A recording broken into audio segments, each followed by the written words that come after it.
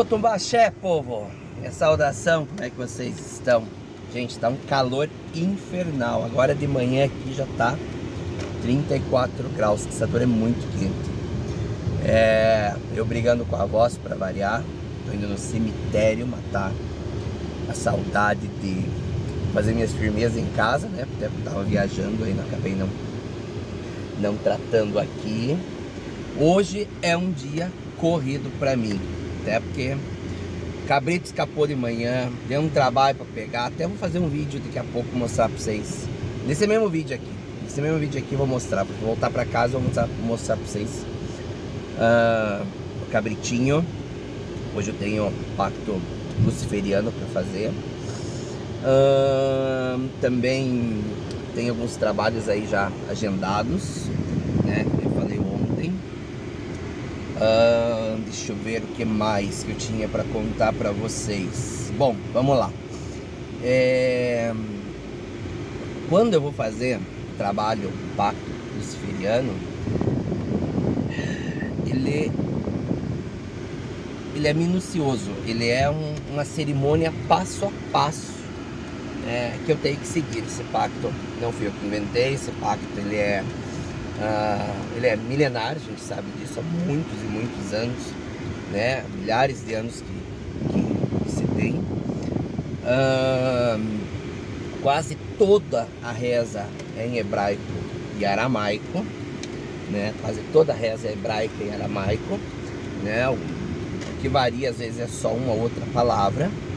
E é claro, por eu ser de, de, de origem de, de afro, religião afro, né?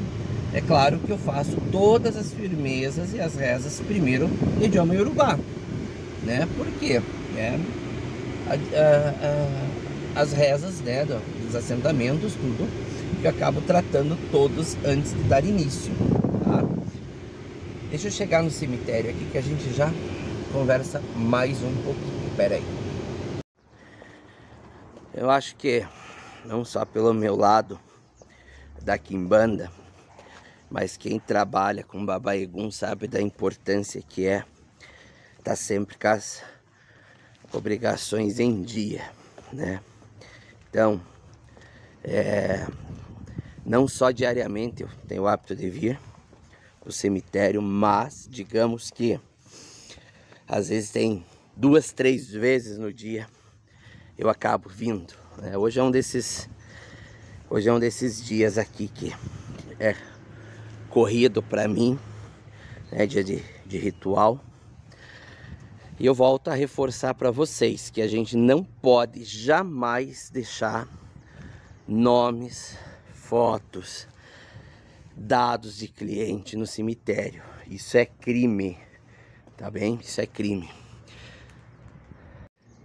Bastante gente me pergunta que reza que dá para ser feita, né? Quando vem pro cemitério. Ah, gente, pai de santo, mãe de santo, bruxos ganham para rezar, né? O ritual faz parte. Mas o nosso segredo é justamente a reza. Então as minhas rezas eu não ensino. Por quê? Ah, me custaram tempo, me custaram ensinamentos. É, tem rezas que eu aprendi com, sei lá, desde que aprendi a falar, 3, 4 anos de idade.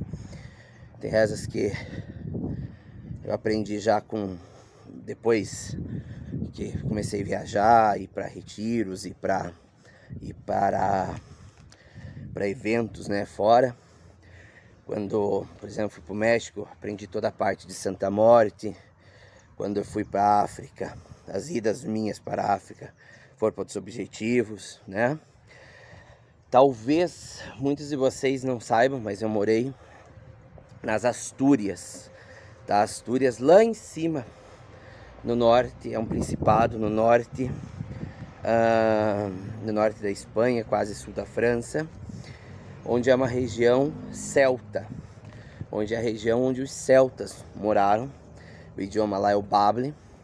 E eu morei quase um ano lá para me aperfeiçoar em bruxaria, porque a região uh, dos celtas, onde os celtas uh, moravam é onde se aprende né, alguns rituais de bruxaria. Então eu acabei indo, morando lá um tempo. Então eu não, não ensino as minhas rezas que eu faço, mas acho que qualquer coisa que você vir fazer, a partir da hora que você acende uma vela, que você prepara as coisas, é, que vem de dentro de você, pode ter certeza que alguma entidade vai ouvir. Vou tratar as quartinhas agora. Vou ver se convido vocês aí para irem junto para ver como é que eu trato. Ó, a cada 21 dias a gente tem que dar água para as quartinhas e tratar elas, né? Com obi, enfim, se for o caso com egé, vai com egé, tá? Então, como eu ontem cheguei tarde, não consegui vir, hoje eu já tô, ó, tratando todas, uma por uma, tá? Se você não é filho de santo, é de terreiro e não coloca água na tua quartinha, é a mesma coisa que você ser católico e ir na missa e não comungar, tá? Ah, isso aqui, gente, é a extensão do terreiro, do pai de santo, da mãe de santo. Então, ah, quando o pai de santo abandona, não trata as quartinhas, pode até o, o, o filho de santo abandonar, sabe? Pode até o filho de santo, que eu tenho alguns que abandonam. Penso vocês, tem gente que já não fez pacto e, ó, e deu no pé, não vem nem para saber como é que tá, mas ó, eu trato, ó. Que a minha obrigação é com a entidade, não é com a pessoa. Eu sempre falo isso, né? Vou tratar desse menino aqui que tá lá nos Estados Unidos também. Aí, né, a importância da, da água na quartinha, tá? A água, no idioma africano, é Omi. Omi Mekó, AG1 Omi Mekó lá. Baborixá Kibi, Kibi Mekó AG1. Já é uma das primeiras rezas Yorubá que a gente aprende no terreiro, né? Assim como a gente precisa da água, precisa do pão, precisa de Deus também, né? Na nossa vida, tá? E o obi, tá? É claro que eu tenho que, se eu vou dar água, eu vou dar o obi também, tá? Uh, eu não abro um obi para cada uma, porque eu, né? Uh, fui eu que fiz o santo, é eu que trato aqui. Todas que estão aqui foi eu que fiz. O meu assentamento lá em cima é um só.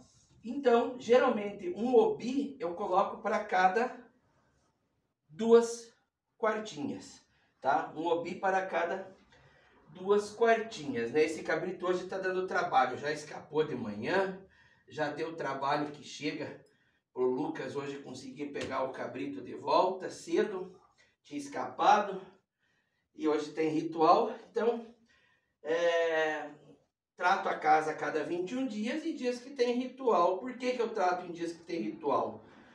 Quando um cliente vem fazer um ritual, a gente acaba estendendo a energia para essas pessoas aqui. Entendeu? Ah, tá vindo uma pessoa fazer um pacto luciferiano, ela acaba tratando, ela acaba sim, ó, um filetar bem, isso aqui dá para filetar em quatro vezes, ó. Ela acaba tratando uh, cada um da casa, né? Por isso que eu gosto de ficar com a quartinha aqui, de alguns, quando são pessoas que são ah, ah, assim tem uma vida muito ativa principalmente, porque daí aqui a gente consegue cuidar, é, indiretamente a gente acaba estendendo esse axé, sabe? Entendeu? Igual, ó, hoje é um dia de muita força para fazer trabalho de amarração. Por quê? Porque eu vou fazer tra trabalho incorporado na linha luciferiana e a energia vem, né? A energia vem, a energia ajuda, a energia, né? Ela acaba uh, uh, não estando mais vazia, né? Porque uma coisa é você começar algo do zero. Agora, quando né, você consegue acumular essa força, essa energia, isso tudo acaba ajudando aí, tá? Bom, qualquer dúvida aí vocês podem estar encontrando em contato aí com, com os meninos, podem falar com o Diego, podem escrever para cá também. E espero que todos vocês tenham um abençoado dia. Que dia que é hoje da semana? Terça, Terça. quarta? Terça. Terça-feira. Terça-feira hoje, né? Vamos lá. Vamos. Gente, para cada, por exemplo, ritual que vai, você vai um cabrito para. Esse aqui fica aqui para cá, porque é para esse, para esse trabalho, para assentamento da casa. Se for um cabrito para tratar a casa, vai um cabrito para o cliente. E assim sucessivamente. Entenderam?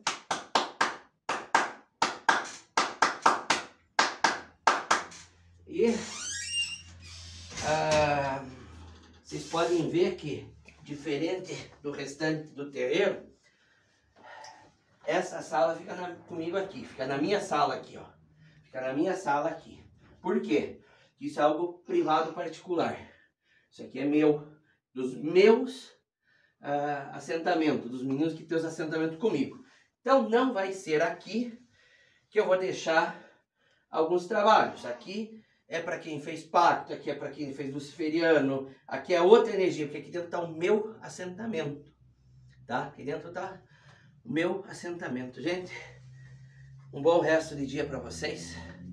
Nós aqui estamos começando na função. E qualquer coisa a gente está à disposição. Os meninos conversem com vocês. Axé.